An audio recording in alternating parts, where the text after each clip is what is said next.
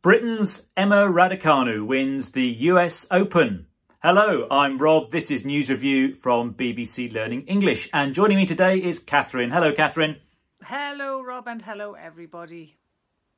Now, don't forget, we're going to be teaching you some vocabulary today, and you can test yourselves on the words by going to our website at bbclearningenglish.com where there's a quiz. But first, let's hear a news report from the BBC about this story. Emma Raducanu has ended Britain's 44 year wait for a women's Grand Slam singles champion after beating Canada's Leylah Fernandez to win the US Open. The 18 year old star saw off her opponent 6 4 6 3, not having dropped a set throughout the tournament. So, yes, exciting news from the United States. Britain's Emma Raducanu has beaten Leylah Fernandez to win the US Open Tennis Championships. She is only 18 years old. It's her first time at the US Open. Yes, well done, Emma. Very exciting news. And we've got three words and expressions that you can use to talk about this story, haven't we? We have. We have captures imagination we have fluke, and we have fallen for.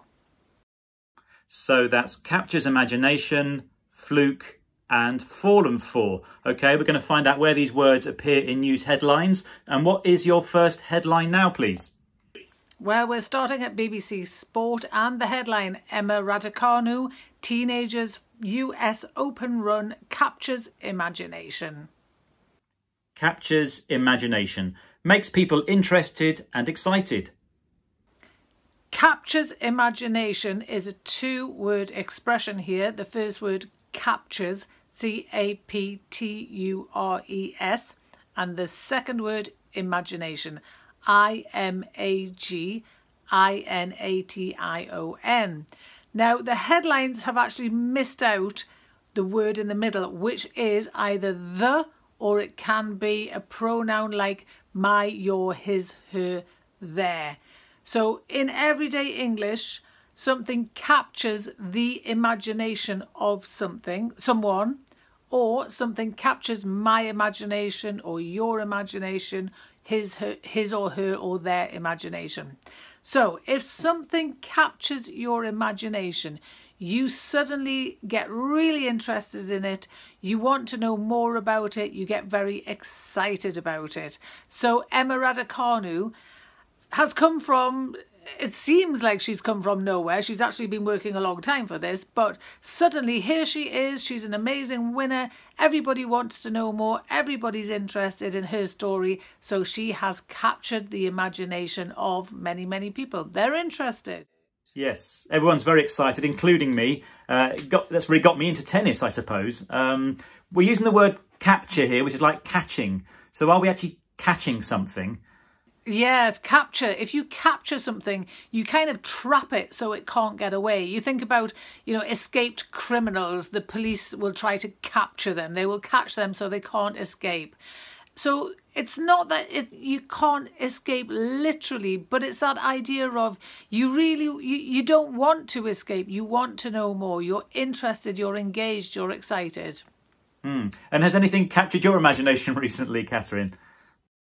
Well, as it happens, yes, I've seen an advertisement for this dinner experience. You go to have dinner, but there's all these people from Charles Dickens novels all around the place. I don't know if they're serving you food or chatting to you, but it's this immersive theatre experience and it sounds really interesting and it's captured my imagination, so I'm going to go. Excellent. Well, let's have a summary of that phrase.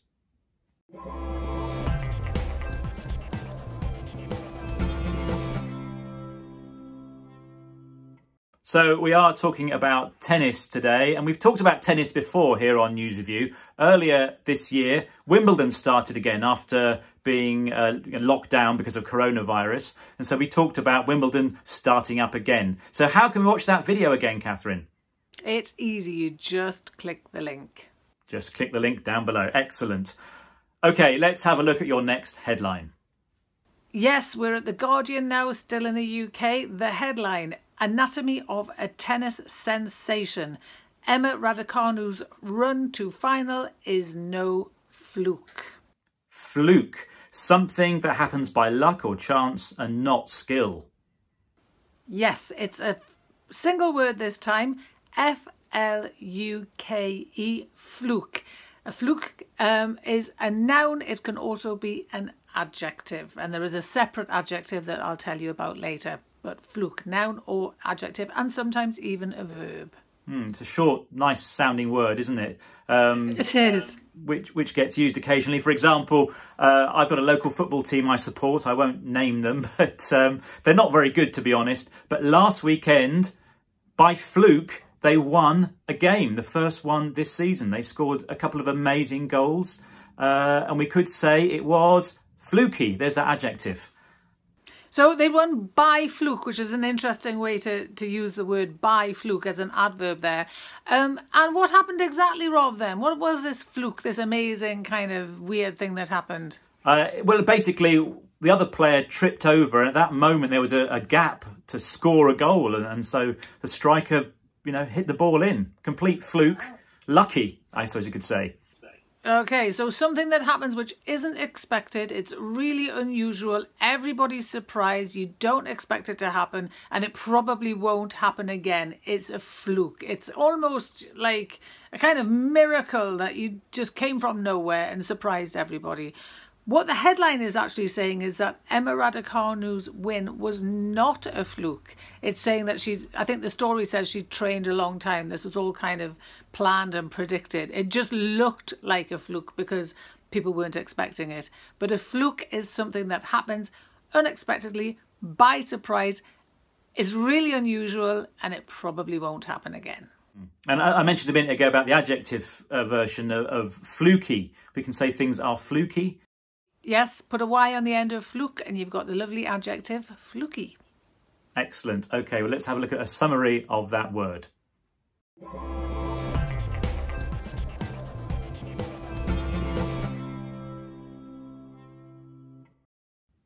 On News Review, we talked about something that may have been a fluke earlier this year. That was heavy snowfall in Spain back in January.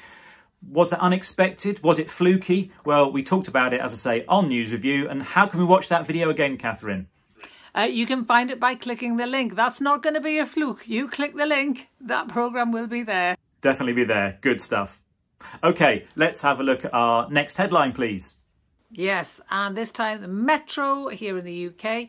How New York has fallen for Britain's tennis sensation Emma Raducanu. That's fallen for, suddenly started loving someone. Yes, we have a phrasal verb, fallen, F-A-L-L-E-N, and the second word is for, F-O-R. And if you've fallen for someone, you've fallen in love with them. It's a very, very similar expression to fall in love. If you fall in love with someone, you can say you've fallen for them. Now, when you fall in love with somebody, often you want to date them, you want to marry them. You can talk about when you fell for your wife or husband. We're not saying everybody wants to marry Emma Raducanu, but what we are saying is New York here, the people of New York have suddenly thought she's great, she's amazing, we love her, we want to know more about her all of a sudden they're all talking about her and they think she is amazing. So they've fallen for her means they think she's great. They love her. Uh, does it mean people are falling over then? Are they actually falling? They're not actually dropping to the ground. So it's not that kind of fall. It's much more to do with the, the feeling. So the word fall is used metaphorically. And I've heard the phrase to fall for a joke, for example. Does that mean people are falling in love with jokes? Ah, now don't not to be confused with. Yeah, if you fall for someone, you fall in love with them. If you fall for something, we can often say that that's actually to do with a joke or a trick that you were fooled by. So, for example, Rob, if someone rings up from and says, I'm from your bank, there's a problem with your account, please log in, and you log in and give them lots of money, and later you think, oh no, that was a scam and I fell for it. It means you were tricked by it. Or you can fall for a joke, means that somebody plays a prank on you and you, you get tricked. Okay, no romance involved there, okay. No, not at all. Excellent. Okay, thanks for that. Let's have a summary of that expression.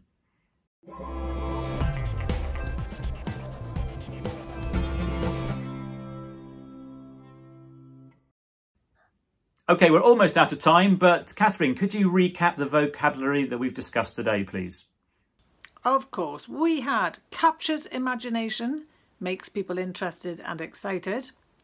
We had fluke, which means something that happens by luck or chance and not skill. And we had fallen for, suddenly started loving someone.